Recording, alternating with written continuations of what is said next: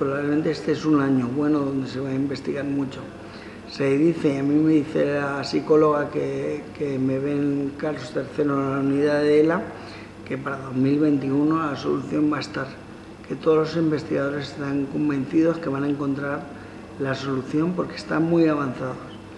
Y ahora nos toca a todos dar ese impulso y decirle a los gobiernos que si estamos tan cerca, ¿por qué nos vamos a parar?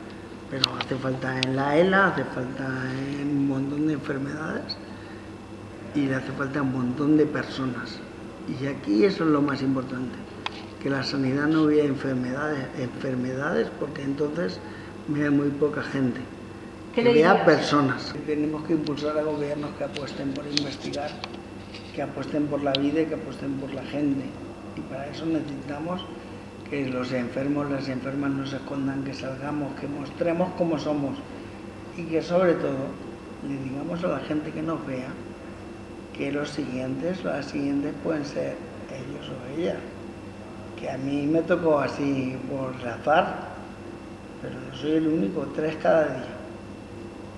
Y de esos tres nos puede tocar a cualquiera. Yo eso es lo que le digo a la gente para implicarlas en el proyecto. Y si el siguiente eres tú, y si es tu familia, si son tus hermanos, y si es tu hijo, tu hija.